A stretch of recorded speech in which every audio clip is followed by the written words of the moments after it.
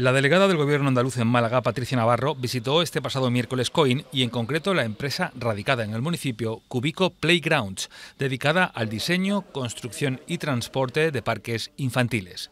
Navarro destacó en el transcurso de la visita el potencial empresarial de la provincia y en particular de la comarca del Guadalhorce, ya que a pesar de la crisis económica y del alza de precios, las empresas malagueñas siguen creciendo y en 2022 Málaga registró un nuevo récord de exportaciones. En ese sentido, la delegada destacó el esfuerzo que realizan compañías como Cubico Playgrounds para mantener el nivel en el sector. Es una empresa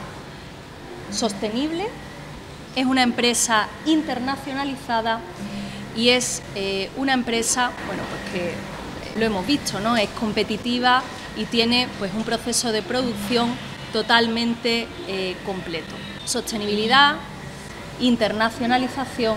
y, como no puede ser de otra manera, una empresa competitiva. Al final, eh, empresas como esta engrandecen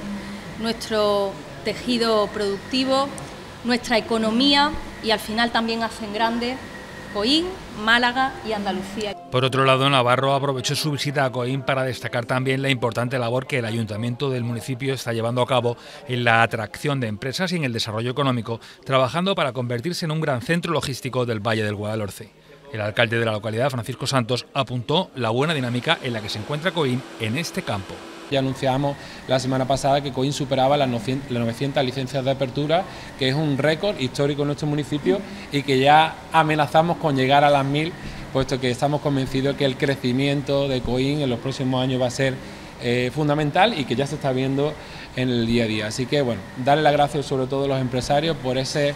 eh, gran trabajo que hacen, por ese riesgo que acometen, por supuesto, cada vez que tienen que hacer cualquier tipo de inversiones y decirle que, por supuesto, por parte del Ayuntamiento de Coín el apoyo es total. Y bueno, eh, yo creo que ellos lo saben porque hemos estado encima y yo creo que Coín va a tener un papel fundamental para los próximos años de cara al crecimiento, por supuesto, de nuestra ciudad, de la comarca del Guadalhorce y la provincia de Málaga y estaremos ahí muy pendientes para, evidentemente, contar con la ayuda de la Junta de Andalucía, pero también, como no, con el resto de empresarios de nuestro municipio. Esas facilidades y la buena sintonía con la administración municipal son algunos de los aspectos que destacó el director comercial de Cubico Playgrounds, Agustín Fiatelo, para explicar el motivo de la elección de Coin como centro de producción de la empresa en unas instalaciones que cuentan con una plantilla de más de 30 trabajadores. Estuvimos viendo opciones, eh, eh,